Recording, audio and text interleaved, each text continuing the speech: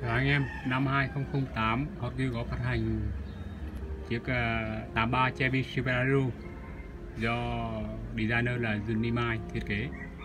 Thì được yêu thích cuồng nhiệt kể từ đó đến nay thì bất kỳ mẫu xe nào màu xe nào ra đời đều được săn lùng.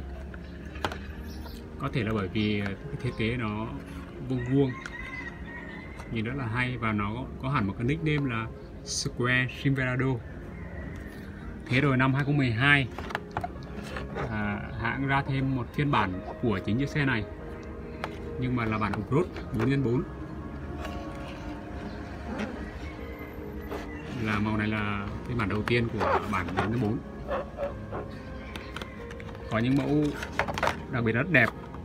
Cả như là mẫu có tem bò la rồi à, retro. Hay là basic cũng có. Có một phiên bản ít người biết đến hơn hơn đấy là chiếc xe này, Power Flower. Thì đây lại là 1973 Chevy Silverado nó cũng vuông vuông.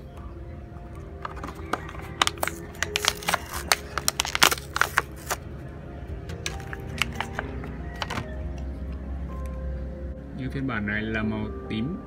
Bên uh, hông xe có chữ piranha và hình uh, loài cá thịt người. Piranha. Rồi body mặc dù là xe basic nhưng mà vẫn có body bằng thép gầm uh, kim loại. Vuông vuông. Chi tiết phạt trước ở phía trên có một dàn đèn. Rồi có bánh xe dự phòng có phiên bản là còn có hộp đồ nghề ở đây. Ở góc này. Còn à, Silverado vuông thì đấy, bản này là bản basic gần đây nhất.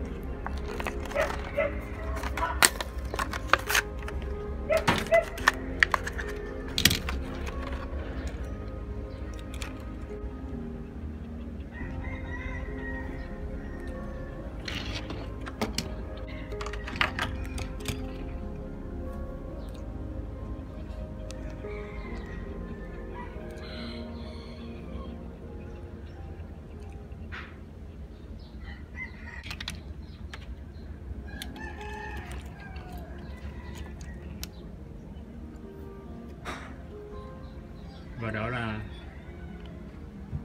Square Silverado.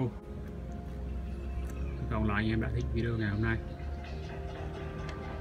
Tạm biệt và hẹn gặp lại.